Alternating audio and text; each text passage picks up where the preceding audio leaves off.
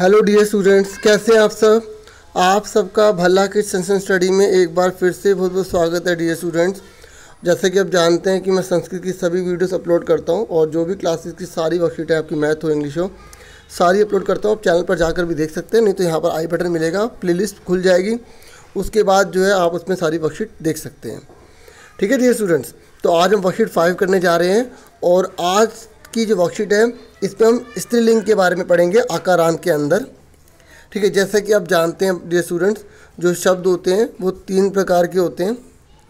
ठीक है, पुल्लिंग शब्द, स्त्रीलिंग शब्द और नपुंसकलिंग शब्द। हमने पुल्लिंग शब्द के बारे में बहुत डिटेल में अच्छे से समझ लिया है। आज जो है, हम स्त्रीलिंग की शुरुआत करने जा रहे हैं। ठीक है, ये जो संस्कृत में लिखा है, ये हिंदी में लिखा है, मैंने आपको अच्छे से बता दिया है। ठीक है, आगे देखिए डियर स्टूडेंट्स जिन शब्दों के अंत में अ की ध्वनि आती है, उन्हें अकारांत कहते हैं। ठीक है? हमने पुल्लिंग में अकारांत के बारे में पढ़ा था ना? अब जो है हम, स्त्रीलिंग जो होते हैं, उनमें आकारांत होता है बड़े से आम। ठीक है? सुन रहे हो? अच्छे समझ में आ रहा है? तो इसमें हम जो है स्त्रीलिंग के बारे में पढ़ेंगे। ठीक है? यानी कि इसमें बड़े आ से आम वाला अगर हो तो वो क्या है? स्त्रीलिंग शब्द है। ठीक है? आओ देखते हैं कि इसमें और क्या चीज़ें हैं। सबसे पहले आप ये पिक्चर को देखिए। इन पिक्चर के आपको नाम बताने हैं। ठीक है? तो देखिए, बताइए ये क्या दिख रहा है आपको? ये है दोला। क्या है? दोला। दोला माने झूला। क्या है? झूला।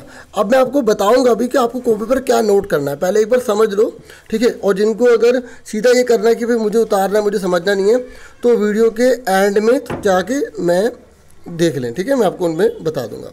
ठीक है? और बाकी जो समझ रहे हैं, अच्छी बात है, मुझे अच्छा लगता है। कुछ बच्चे बहुत अच्छे से ध्यान से समझते हैं। ठीक है? आ रहे हैं समझ में? और बच्चों, आपको खुद बताना है आंसर ठीक है? इससे मज़ा आएगा और कब पूरी वीडियो देखिए पता भी नहीं चलेगा। जल्दी बताओ, ये क्या है? हिंदी में बताना, संस्कृत में लिखा है घटिका। घड़ी वेरी गुड जल्दी से बताओ, ये क्या है? चटका। चटका मैंने चिड़िया। ठीक है? और ये क्या है? स्थालिका। स्थालिका मैंने थाली। क्या? थाली। आप इसको प्लेट भी बोल सकते हैं। ठीक है? अब ये बताओ फटाफट जल्दी से क्या है? वेरी गुड नाव है ना? मतलब नौका, संस्कृत में नौका, हिंदी में नाव। और ये क्या? अजा। क्या है ये अजा मैंने बकरी? ठीक है? अच्छा ये क्या है? गायिका। तो गायिका को गायिका ही बोल दो आप। ठीक है, ये क्या है? शिक्षिका मतलब अध्यापिका। अच्छा बच्चों, आप सबने इन सब में एक बात नोट करी? देखो, सब में आ का डंडा लग रहा है ना? और जब हम एक वचन में पुल्लिंग पढ़ रहे थे, वहाँ पर आकर डंडा नहीं लग रहा था ना?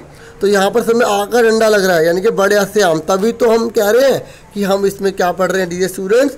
आकारांत। क्या पढ़ रहे हैं हम? आकारांत। और वो स्त्रीलिंग में है। ठीक है? समझ में आ गई? अब देखो, सारे आंसर आपने खुद बताया ना? अब देखो, ये क्या बोल रहा है? ऊपर लिखे गए शब्दों के अंत में आ की ध्वनि सुनाई पड़ रही है। मैंने आपको भी समझाया। इस इसलिए क्या बोलते आकारांत। है ना? और ये कह रहा है जिन शब्दों के अंत में आ की ध्वनि आए, वो सभी आकारांत कहलाते हैं। और ऊपर लिखे हुए जितने भी सब शब्द वो कौन से हैं? स्त्रीलिंग। कौन से हैं? स्त्रीलिंग। ठीक है? मतलब लड़की, जैसे है, महिला है, वो सब क्या होता है? स्त्रीलिंग। ठीक है? दोला। ठीक है? घटिका, चटका, सालिका, ये सब क्या है? स्त्रीलिंग है। तो पहला वाला पार्ट समझ में आ गया। अब हम करेंगे इसका दूसरा पार्ट ठीक है? अब फटाफट बताइए इसका नाम क्या है? सूचिका, बताइए, क्या बोलते हैं सूचिका को? हिंदी में वेरी गुड जिन्होंने सुई बताया, मेरी तरफ़ से वेरी गुड ठीक है? और आप कमेंट बॉक्स में बता भी सकते हैं कि आपने कितने बताए, ठीक है? बताना चाहिए बता सकते हैं, या कि आप ये भी लिख सकते हैं कि सर में ज़्यादातर मैंने आंसर बता दिए थे, ठीक है? उसके बाद क्या है? पिपलिका पिपलिका का मतलब क्या होता है? चींटी, क्या होता है? वेरी गुड बच्चों, शाबाश शाबाश, मज़ा आ गया। अब जल्दी से बताओ इसका नाम क्या है? कुंची का मतलब चाबी, ये हुई ना बात। तभी तो मज़ा आता है पढ़ाई में। अब मैं बोलता हूँ और आप बोलो ही नहीं, आप सुनते रहो तो ऐसे मज़ा नहीं आएगा ना। आपको भी तो बताना पड़ेगा, तभी तो पता लगे हाँ भी बच्चे पढ़ रहे हैं। है ना?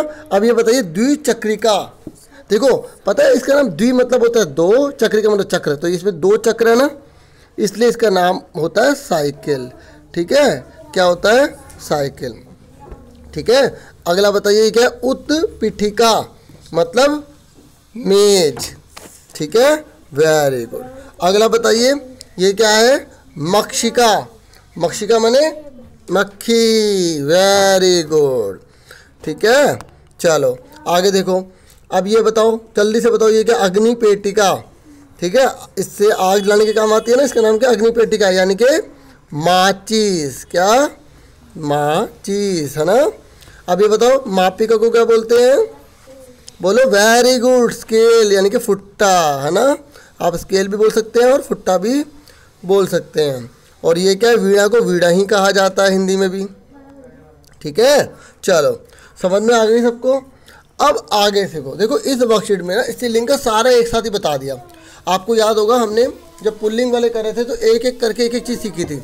इसी वीडियो में मतलब इसी वर्कशीट में हमें वचन परिवर्तन भी बता दिए कि अगर एक स्त्रीलिंग है मतलब एक अगर जैसे एक माचिस है, एक मापिका है, क्योंकि सब क्या स्त्रीलिंग है मतलब लड़की, है ना?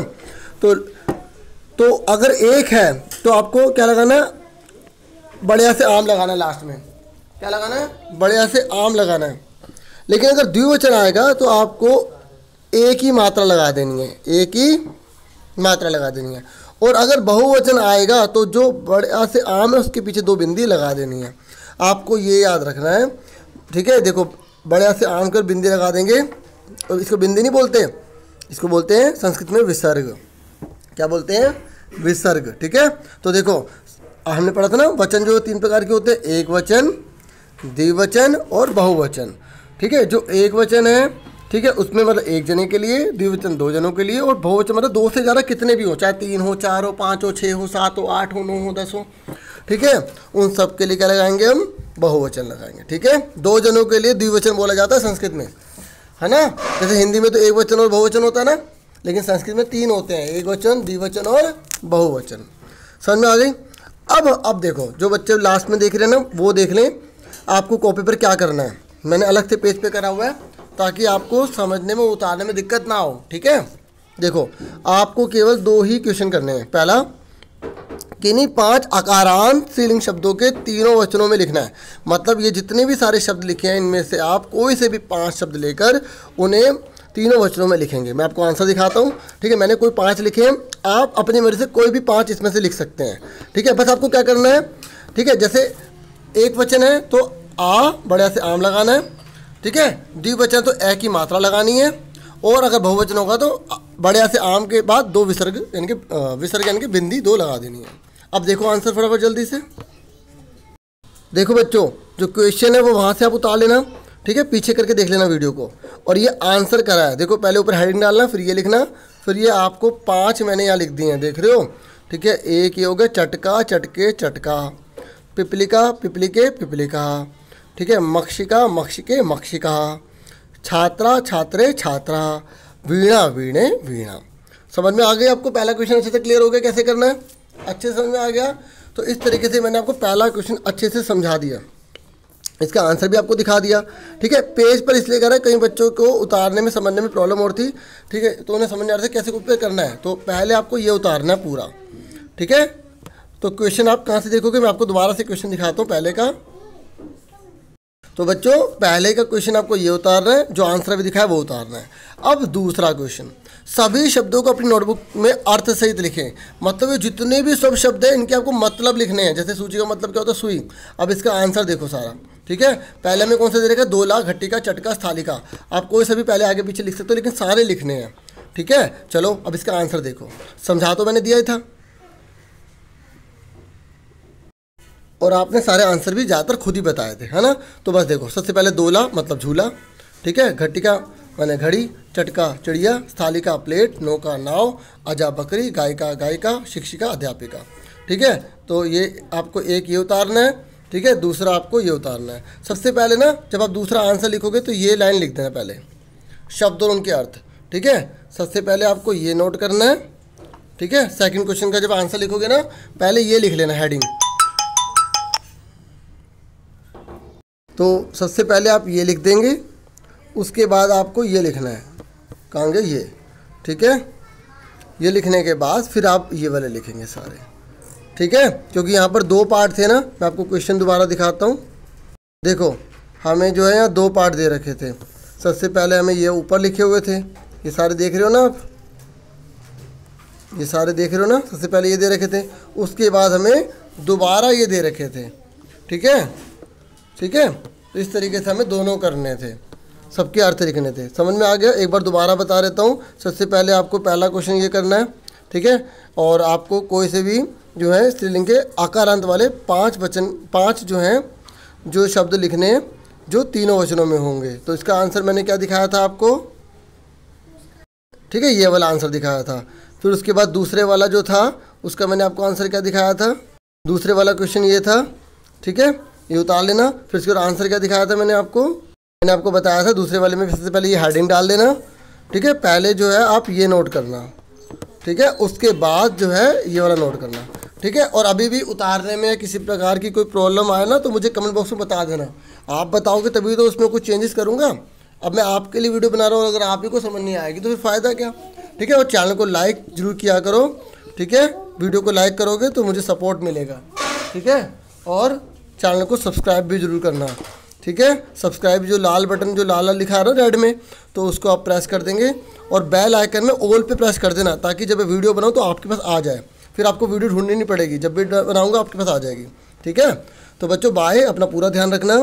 Thank you thank you for watching and listening carefully अपना पूरा पूरा ध्यान रखना। बाय बच्चों।